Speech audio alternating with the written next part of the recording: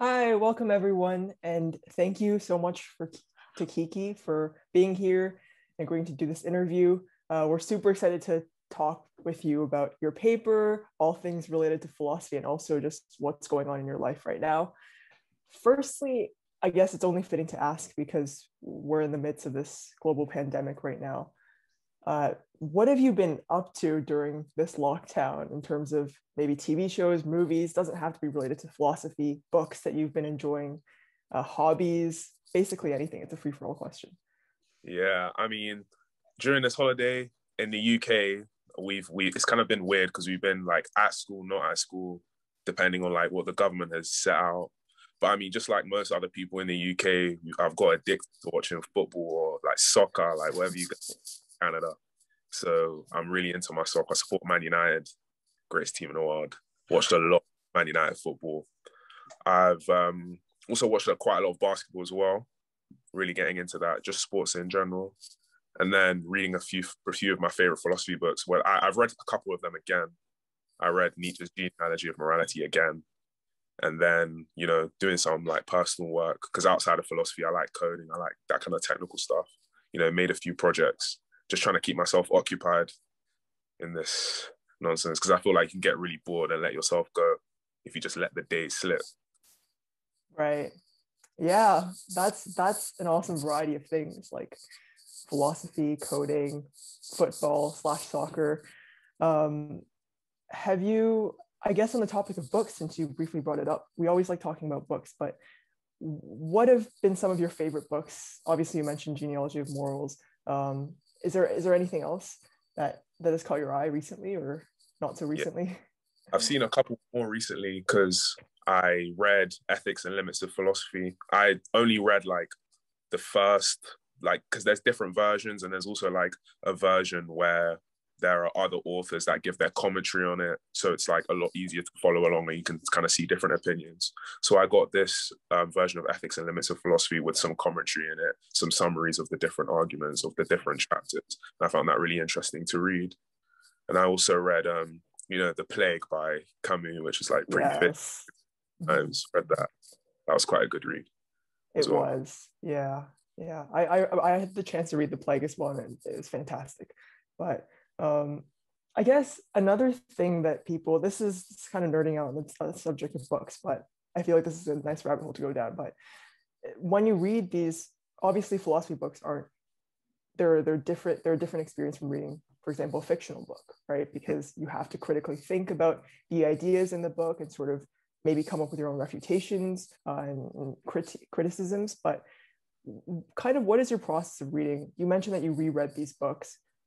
Maybe what is your process like? Like, do you take notes on the books? Like, in what manner do you do you take those notes? What what is your process of grappling with these ideas and sort of retaining them?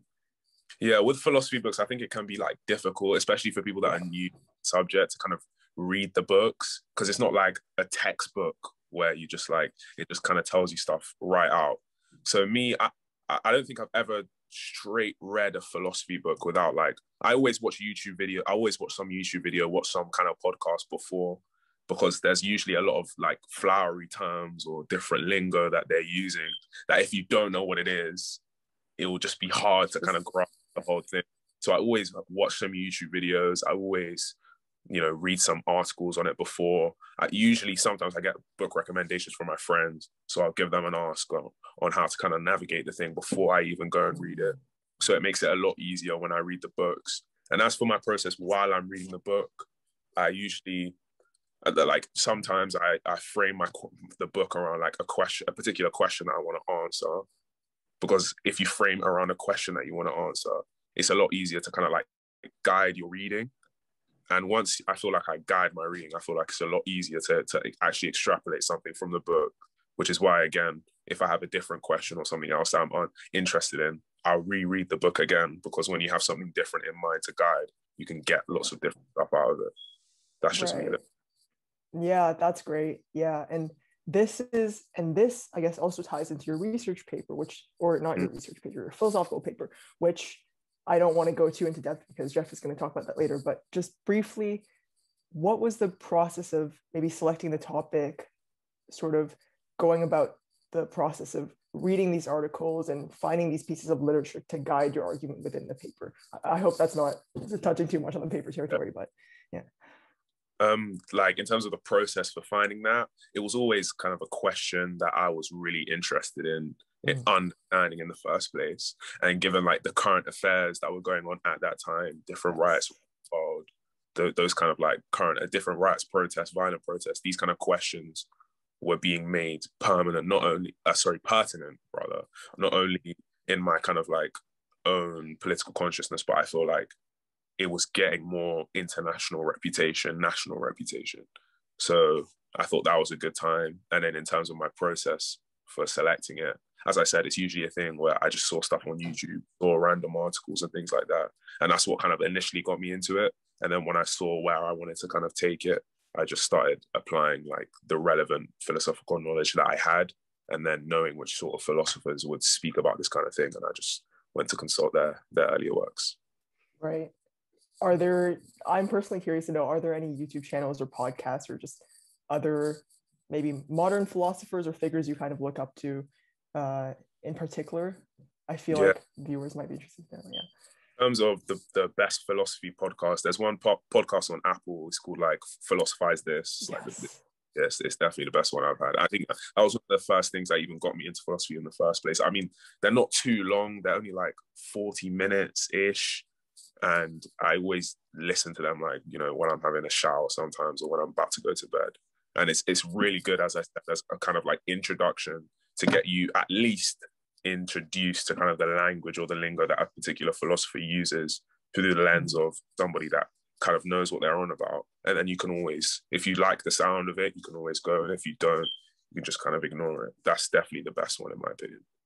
Yeah, I completely agree with that. I think because a lot of people are sort of intimidated by the idea of philosophy and all this fancy language like you talked about.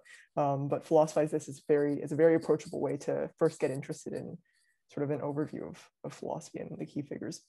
Um, yeah i mean I, you briefly talked about sort of looking at international news current events and getting inspiration for your topic off of that.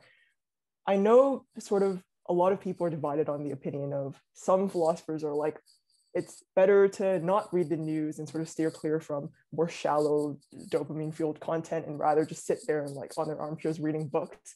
Whereas mm-hmm. other philosophers say it's essential to look at the news apply these ethical dilemmas to different situations going on in the world and in your particular country. So what is your hot take on that? Do you are you an avid news reader? What sorts of do you read across the spectrum yeah, I mean, with regards to just addressing that kind of initial point with the difference between like you know your kind of more stereotypically introspective philosophers, people that think you can assess stuff just by like you know looking introspectively and and arguing that you don't have to like interact with the world around you to gain access to the truth. I mean, on on that note, I I would disagree with that in the sense that I think engaging in public life, engaging with others, is it's not only is it more rewarding, it gives you access to a lot more different things. And the idea that you can just kind of stay by yourself and learn things. It's like even if that's true, like, but how are you going to apply this knowledge? What's what's this actually going to do? What's actually going to change? You know, that's always what I'm thinking about. But on the same, on the kind of same token, I would agree that just engaging, because their argument, right, is that you know, me, mass media and things like that it's built to condition, it's built to not give you the truth necessarily. And that's definitely true. I mean, they they they sell you ads these days, but at the same time, you just have to kind of, as I said before, you always have to have a purpose when you're guiding your reading. In the same way, you always have to have a purpose and be aware of what you're trying to get from when you're on the news. You have to understand that their goal isn't necessarily to to give you whatever concept of of truth that really exists, if there is such a thing right? It's it's it's to deliver you news in whatever whatever fashion. So just take that and do what you want with it, but just always keep that in your mind. That's what I would say. Yeah, I in the spirit of a true philosopher, sort of questioning things and building your own questions and then searching for things based off of what you sort of the guiding question in the beginning. I really like that idea. Um, what I guess this is something that obviously we try to ask everyone is like, what got you into philosophy in the first place? Now you briefly answered this before, but uh, why is philosophy so interesting to you? Uh, because there's a lot of obviously there are skeptics, people who say philosophy is useless, philosophy doesn't teach you technical skills, just get a CS degree instead. But what draws you to, to philosophy? I mean, what initially drew me to philosophy is just that I thought that, you know, the typical things about how there were some, I just felt that people were kind of taking so many things for granted, so many things, just assuming so many things that I didn't really necessarily, like, it wasn't even that I thought they were wrong. I just thought it was interesting that people just assume them. And I was always trying to think as critically as I could about all of these different subjects. And then my friends kind of noticed that I had these kind of traits. So they just recommended me some philosophy, recommended me some YouTube videos to watch. Like they just told me about like, oh, just watch Crash Course Philosophy, like first five videos kind of thing. And I just watched it, ended up watching the series and then re- listened to some Philosophize This podcast. It was just interesting to me and I just kind of went down different rabbit holes, experimented with lots of different literature. I was just kind of having fun with it. It wasn't even a school thing.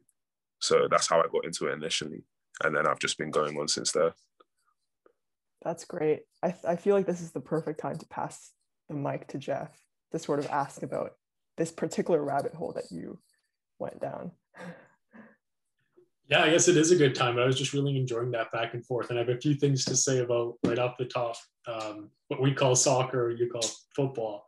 Um, yeah. I'm a Liverpool fan, Kiki. So I don't know, should we continue the interview at this point? Or since uh, you're a United fan, should we just maybe stop it here? I mean, usually back in the day when when the two teams were competing well, it would have been a bit more of a grudge. But considering you're not even in Champions League, I don't think that I don't think that I'm too insecure anymore fair enough. Fair enough. All right, we could keep going on this front, but maybe when we uh, stop recording, I'll I'll say a few other disparaging things about Man United. We'll, we'll continue to back and forth. But before we do that, let's talk about your paper. Um, your paper is titled in the uh, 2020 fall edition of Dialexicon. Does violence have a place in politics? So a provocative topic, of course, violence. We've seen all kinds of violence um, unfold on the streets all around the world. Um, of course, you know this is this has been typical for for many years, but especially in the past year, um, we've seen violence on the streets. And so I'm just curious, um, what what kind of um, inspired you to write about violence in its relationship to politics and philosophy generally? What, like, yeah, what was the kind of impetus for that that topic? In terms of like the kind of immediate impetus for me to write about it, at least at this particular moment. Obviously, given the protests that were going on worldwide, I'd seen a lot of debates around this in contemporary kind of political discussion. It was very high on like the political order of importance, it seemed, whether it's like people talking about from the House of Commons to just like, you know, YouTube, things like that. So I just saw loads of people talking about it. But it was also something that I'd always been thinking about for a while. I mean, we see different forms of violence all the time, and I just felt that in some situations, it's it's underlying and accepted more, and in some situations, it's not.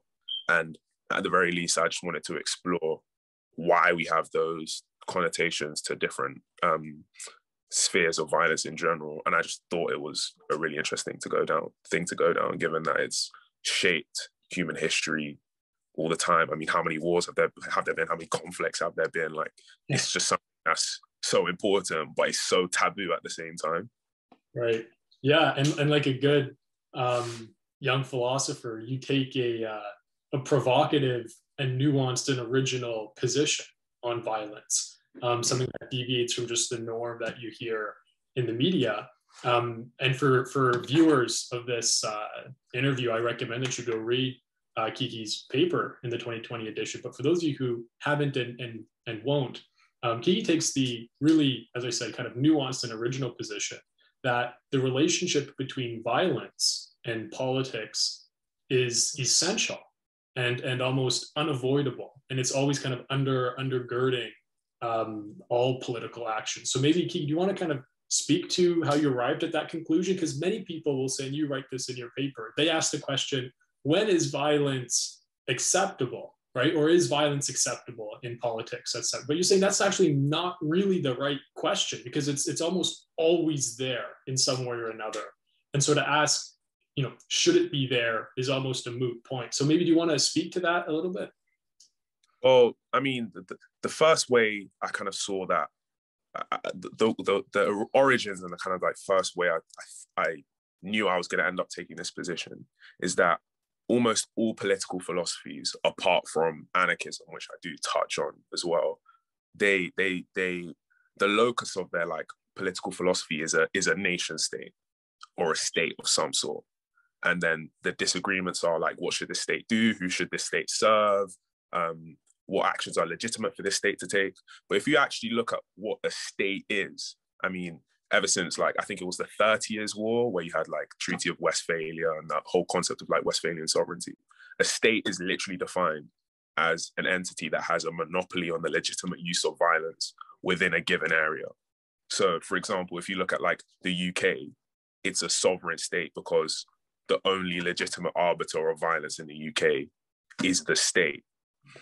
And once I kind of understood that, then the necessary link between political ideology and violence became clear. Because if you look at what a, a political ideology does, it kind of is there to say what um, political ends or political goals are legitimate or illegitimate. So, for example, for Marx, he'll say, you know, the that he he highlights, you know, necessary highlights class distinctions which he sees are immoral and contrary to human progress, and therefore you have to have a dictatorship of the proletariat, use the mechanisms of the state in order to advance his political ends, and that's going to entail violence because that's what the state is centered around. And if you look at a liberal, the, um, like whether it's a classical liberal or modern liberal, they all kind of focus their political philosophy on some conception of human rights or, uh, or, or like human rights, yeah, human rights essentially, and you protect those rights with violence because you have to have a court and the court makes a decision. And if somebody so so say like the right to property or whatever the whole point is that if someone comes to take your property you'll have an impartial court with an impartial judge who is able to decide whether, so say someone steals your thing, they have to give it back. And if they don't give it back, it will be taken from them with some form of violence, right? So it's like ultimately different political ends are backstopped by that ultimate threat of violence. So violence is literally at the center of all political philosophy. And that's the conclusion that I tried to explain in, in the essay that I wrote. Right. Yeah. And I can see a skeptic saying, well, well, that's not that's not true because um, we just we never you know we don't see this kind of violence manifesting or unfolding in the state. It's such a healthy democracy. It's so peaceful. But your argument would be, well, no. Well, we actually do see this bubble up from time to time, and if the times we don't see it bubble up, it's still there as kind of a logical conclusion of certain actions that if mm-hmm. people were to disobey then you would see it really you know rear its head and so that's what i could see a skeptic saying well i look around and the world is ostensibly peaceful um, or at least in like certain democratically motivated countries mm-hmm. um, you would say well that's what would you say to that objection kind of in addition to what what i just said well firstly i would say that even if you look at, at a domestic level cool, we could argue that. I would say you still have a police force, you still have certain, but let, us just ignore the domestic fear. Let's say there was no domestic violence or threat of violence at all. Still, if that state wants to protect itself, it's going to have to have the threat of violence against other states. That's why we've had wars. That's why you have border conflicts. That's why you have different kind of military interventions. So even on it, it's not just that on a domestic level with regards to like the police and the law courts. It, you also see it on an international level where you want to make sure that your neighbors don't see you as weak or whatever. And I mean, all countries that are democratic all still have militaries to the like most of them, and those that don't, it's usually because they're situated in a territory that's so irrelevant that no one would care to invade them. Like if you look at some of the most peaceful nations, such as Switzerland, for example, Switzerland is one of the most has one of the most efficient militaries in the whole of Europe. If you look at World War II, it wasn't that um, they like what people people sometimes get confused. Peaceful means everyone's your friend. It's actually everyone's your enemy more, more of the time. If you look at during World War II, when Switzerland didn't intervene, they shot down Allied planes and they shot down Nazi planes. So that kind of threat of violence or that ability to say, if you incur on my on on what is mine, which is dependent on what your political ideology is. That's where the what's mine. I will be prepared to use the threat of violence. It still underlies all elements of both domestic and international politics. That's what I'd say. Right. No, of course. Great, great answer. I had a feeling that's what you'd say, and um, you even you even added on to it in ways that I, I wasn't expecting. Once again, for readers um, or viewers of this interview who haven't read the paper, I encourage you to read it. Um, but if you don't, Here's a quote from uh, paper, page eight. Quite frankly, to say that one is not willing to use violence for political ends is equivalent to saying that one is not willing to consume food to satisfy their hunger. I think that's that's a really interesting um, analogy or comparison. Is that the use of violence is actually it's so fundamental to the way in which we kind of interact. It's it's almost kind of um, similar as you as you indicate to the primitive desire or the instinctual desire for for food in this sense. Um, so do you, do you view violence as it's it's it's that deeply rooted in our interactions um, with others, right? And just because once again, for views is like, what we don't see this violence, that's not what you're saying. You're saying, yeah, but you don't see it because it's actually there, but kind of in a subversive way. And almost the fact that it's subversive allows us to have this this uh, level of peace on the surface because it actually is there underneath in hidden ways what do you what do you think about that? Do you agree or want to say anything it. I would say that the whole point about it being so fundamental that it kind of goes under the surface. I would say that that that that's the point I was trying to make. If you look at the states that are the most peaceful, it's the ones that have been able to kind of monopolize the legitimate arms of violence within a given area. If you look at countries where there's lots of different groups all competing for that violence, you get a bunch of people fighting each other, and it's not a great place to live. If you mm-hmm. look at some countries with civil wars, that the reason you have a civil war is because there's not a clear distinction of who has the legitimate use of violence and, and who doesn't. As soon as it becomes uneven, you get skirmishes, which is why, back to the international politics point, which is why people are so obsessed not just with who has power and who doesn't and who's powerful and who isn't, but balance of power. That's why you always hear that that that phrase oh we want to maintain the balance of power the balance of power because when everything's balanced and it can just go underneath and people can forget about it. We can have nice interactions which we all want. But when that's not the case things tend to just go a bit left. So that's what i'd say on that. Right right. No f- fantastic answer. And um, this is perfect for dialexicon. We love these like really um, original and um, provocative takes on these. So another um, speaking of being provocative um, you make a comment, page eight. Fascist and liberal ideologies do not differ in the presence of violence, merely mm-hmm. distribution and management, right? So for many people, they'll say, what? Fascist and, and liberal ideology? Are you, are you kidding me? Of course they're different, right? In, in, in many respects. And you acknowledge that they're different, but you're saying, well, maybe it's a difference in degree, not kind, um, when it comes to violence in particular. Um, what, what, do you, what do you have to say about that, that quote in particular? I would say it's not even a difference in degree because uh, let me just make the original point and then I'll get back to that. So essentially, my point, as you said, was that they don't differ in their use of violence. They differ in the way they distribute it, the way they manage it, and where they see it legitimate to be used in the first place. If you look at a liberal, they say you have these human rights and the state is there to defend those human rights. If you look at John Locke, he says we have natural rights given to us by God, and it is the state's uh, re- um, responsibility. Uh, he literally describes him as a night's watchman to enforce those rights. And enforce has the word force because it means use force if necessary. Imagine if a liberal was like, the state will protect your human rights, but we won't use violence. So if someone comes to your house and like, you know, robs you, we'll just ask them very, very nicely to give your stuff. You know, you have to defend it. And ultimately it comes that, down to that ultimate threat of violence. The reason a liberal would disagree with a fascist is not because a fascist is willing to use violence to achieve his political ends. It's that he disagrees with the political ends of a fascist, say, eradicating a, a group of people for like no reason. Do you understand? That's where the liberal and the fascist would differ, not in their administration of violence in, in, in that kind of whole term. Like most polit- most people have political ideologies aren't pacifist. There's a big difference between being what we view as peaceful in our modern times and like being a pacifist. They're two very different things. Right, right. Sorry, sorry to go on. My when they don't differ in degree.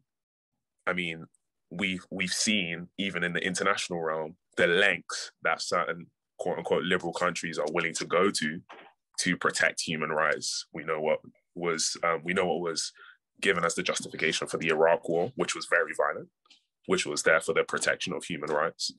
We know, obviously, we've had two world wars, and at least the Second World War in particular had a very like human rights zeal to it. So liberals are prepared to go very, very, very far to protect those human rights, as they should, because that's what they view as the ultimate political end. So it's not even a difference in degree; it's a difference in the management, administration, and for what purpose. I would say. Right, right. No, fa- fantastic. I, I, can just see viewers on the other end chomping to be in my position to ask you questions. One question I'm, I'm, I'm imagining someone might wish to ask you is um, now this might slightly deviate from your your thesis, and so just just um, I just want to flag that for, for anyone.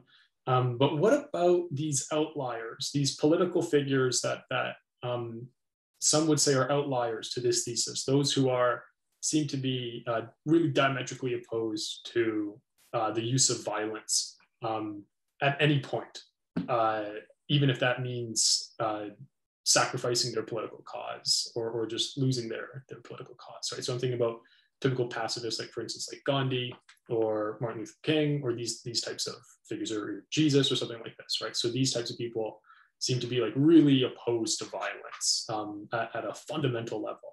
Um, I'm just curious what what I don't think that that is you know against your thesis because you're talking about you're talking about a state and laws and politics. But I'm just curious to get your opinion on on those types of people and people in their relationship to violence and politics. I mean, in terms of my opinions on them, I would say that if they say then they're never willing to use violence to achieve a political end, like on and by any means thing, then I would question whether their political what they say is their end is actually their end. So when because because you know when people say um the means don't justify the ends, right? Or the ends don't justify the means rather. So mm-hmm. like just because an end is good, these means are so bad that they should never be used. I would say that it's usually that they have a different end in conception rather than the end not justifying the means. So when I so to give an example, like for example, a Kantian may say that the end of you know getting a bunch of money doesn't justify the means of say assassinating someone. So then you think on the on the face of it, it seems oh the ends don't justify the means. But it's actually because for a kantian the end is satisfying the categorical imperative which means that you cannot kill anyone. So it's rather that they have a different end that's satisfying the categorical imperative not that the means don't justify the end. Because as a kantian will tell you almost any means is is enough to satisfy the categorical imperative, even if you have to lie and uh, even if you have to tell the truth and tell the murderer that you know your kid's inside, for example. That's the famous example that's always given. So for a, so if Martin Luther King said that he was a pacifist or never willing to use violence, if he was saying that he can achieve his political ends in a better means without using violence, then I would say he has a then he could still be completely consistent with what I'm saying. But if he says that achieving whatever is his political end, and even if violence was the best way to achieve it, he still wouldn't do it. I would question whether that's whether that's actually his legitimate political end in the first place. Right. And then further that point, I would also say that with a lot of like pacifist thinkers over time, I think I haven't done this, but I think it would be really interesting to assess like their success on a political level, whether they were backstopped by other groups who are potentially who who were willing to potentially be more violent, for example, or look at the amount of success that they've had. Because what's really interesting about Martin Luther King in particular is that his views on like the on, on what was going on in America at his time before he was assassinated, they they seem to really change over time like before the end he was like he he has quite like some like really really weird quotes like he was talking about how his dream had turned into a nightmare and stuff and you know different things like that so i think it would be really interesting if someone could like look at how these people's views changed over time or if they saw the success of the political ends that they were trying to bring about. I think that would be really interesting. Right. Well, those, those that that kind of uh, concludes my questions for you. And my goodness, you're going to be a, a, force to, to reckon with when you get to university and beyond. Um, once again, I'm, I'm, sure like some viewers won't know this, but Kiki hasn't even started his university career yet. And it seems like a university, although you haven't gone to it, it seems like it's already gone through you in a way. And so, um, for all of the uh, young philosophers out there, um, Kiki's a great example that you can be extremely well read and um, ready to go even before you arrive at university. You should just be delighted with yourself, Kiki, for um, the way you write, the way you speak, the way you think. It's just it's just mind blowing. I'm, I'm, I'm so impressed. I'll throw it over to uh, Elizabeth now, but this has been a great a great back and forth, and we have that Liverpool conversation coming up after. Don't forget about that. sure. Yeah, well, this I mean, it's already been basically 40 minutes, I think, but um, that was incredible. I feel like the conversation just, firstly, starting from it was just very fluid, and part of that was because like the responses you gave were actually very like I'm literally like taking notes right now. Um, but yeah, I as for me, I feel like Jeff has covered all the territory in terms of the paper itself. Are there any, I kind of just wanted to pass the floor maybe to Kiki, if you would like, are there any last things or comments about your paper, about philosophy in general, about uh, literally anything that you might want to speak on. If not, that's fine as well. Nah, with regards to the paper, I think we, we covered it really, really well. I just say, with regards to philosophy, if anyone's watching, like it's just it's such a great thing to get into. Like people, I feel like people always question its ability to be put into practice. But I think that's, I think firstly, as we've had that discussion on, on such current affairs, I think it is so important and being put into practice. And I think it's one of those things that if you don't put it into practice yourself, someone's just going to put it into practice for you. Because all of these, all of these thoughts, they do underline, like they permeate so much of our of our modern thinking, the things we do in life. So it's a thing, in my opinion, you can either try and discover it yourself, or you're just going to have to, you know, assume a bunch of stuff that other people say. So yeah, that's what I'd say on that. That, that's brilliant. yeah. And obviously, we've we mentioned this multiple times, but go read Kiki's paper. Read it once, read it twice, read it three times if you really want. Um, and and always and like Kiki said, like go in with a question in in mind and see if your opinion on this topic changes based on based on whether his argument is convincing to you or not, which I'm sure probably will be. So, yeah, well, that's all we really have for you guys today. And, and thank you again, Kiki, for agreeing to do this and being willing to reschedule things. Um, yeah. Thanks, Kiki. Bye, everyone.